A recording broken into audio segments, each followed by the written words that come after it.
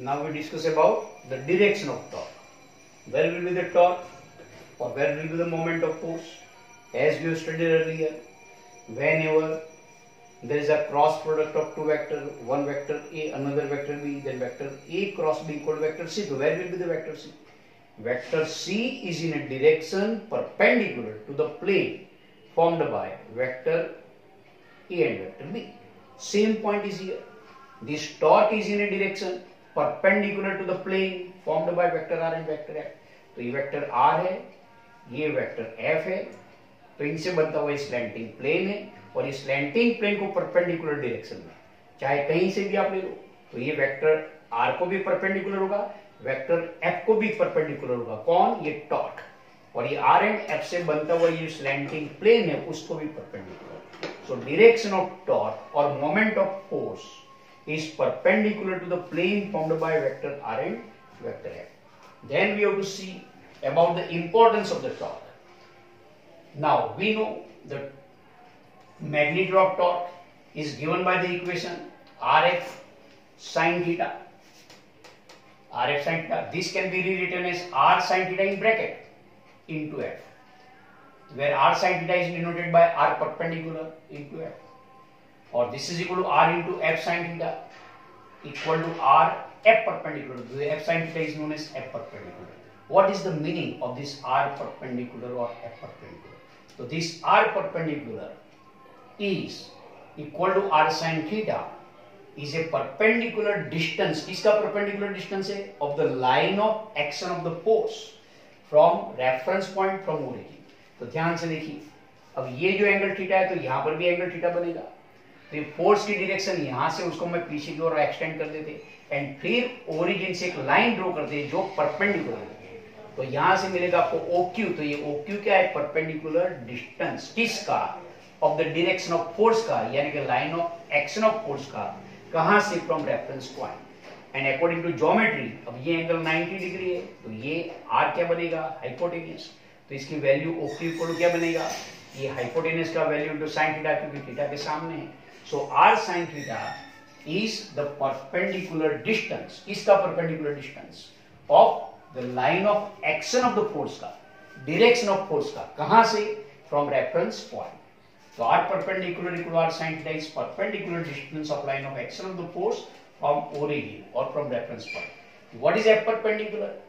तो यहाँ से फोर्स लग रहा है कितना एंगल बना रहा है थीटा तो इसके दो कंपोनेंट्स लीजिए एक वेक्टर आर की डायरेक्शन में एफ़ कॉस थीटा दूसरा आर को परपेंडिकुलर तो एफ़ साइन थीटा तो एफ़ साइन थीटा क्या हुआ परपेंडिकुलर कंपोनेंट किसका वेक्टर एफ़ का किसको परपेंडिकुलर वेक्टर आर को so F perpendicular equal to f sin theta is the component of the force in a direction perpendicular to vector r. So you can rewrite the definition of torque. So torque equal to r perpendicular into f or r into f perpendicular. अगर r perpendicular into f कहते तो torque is equal to the product of magnitude of the perpendicular distance of the line of action of the force and magnitude of force ये लेते हैं तो कहेंगे क्या torque is equal to torque is equal to magnitude of product of magnitude of position vector and component of force in a direction perpendicular to vector r. Thereafter, again we see the importance of the angle theta. So here in this equation R F sine theta में if R is zero मतलब force कहाँ पे लगता है? Particle जो origin पे, वहीं पे। जब ओरिजिन पे है तो उसका खुद का डिस्टेंस ही नहीं होगा कोई भी ओरिजिन से। ओरिजिन से डिस्टेंस नहीं होगा तो ऐसे केस में इसका रोटेशनल मोशन प्रोड्यूस होगा नहीं। तो if R equal to zero then according to this equation zero F sine theta torque will zero अगर ये पार्टिकल के ऊपर आप फोर्स ही नहीं लगाते हैं तो क्या इसका रोटेशन मोशन ही नहीं प्रोड्यूस होगा? तो एफ़ इक्वल टू ज़ीरो तो भी टॉर्क इक्वल टू ज़ीरो लेकिन अब अगर यहाँ पे थीटा इक्वल टू ज़ीरो या वन एटी डिग्री है, थीटा इक्वल टू ज़ीरो कब बनेगा? Theta equal to angle theta कहाँ पे? Between vector R and vector F. मतलब ये वेक्टर आर और यहीं से वेक्टर एफ़ होना चाहिए, इन द सेम डायरेक्शन। या तो यहीं से फोर्स ये टूवर्ड्स ओरिजिन की ओर फोर्स लगना चाहिए। तो फोर्स की डायरेक्शन ये है तो एंगल थीटा ज़ीरो। फोर्स की डायरेक्शन ये है तो angle 180 degree. In both the cases ये फोर्स की डिरेक्शन को आप एक्सटेंड करके देख लीजिए तो कहाँ से पास होगा? रेफरेंस पॉइंट से पास होगा। तो ये दूसरा मीनिंग हुआ थीटा इक्वल ज़ीरो और 180 डिग्री का। Whenever the line of action of the force whenever direction of the force is passing through the reference point then theta will be equal to either zero degree और theta equal 180 degree and in that and in that case sine zero is zero sine 180 is zero तो torque will be zero तो ऐसा force कभी भी किसी भी situation में torque यानी रोटेशनल मोशन प्रोड्यूस करेगा? नहीं।